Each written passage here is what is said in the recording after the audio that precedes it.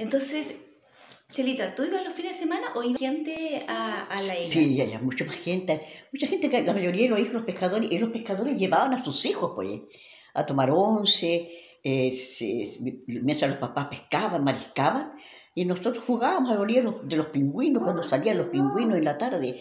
Eh, por ejemplo, al, al- al ponerse el sol, los pingüinos ya empezaban a salir a sus cuevas a, a guardarse. Pero eran miles, pues.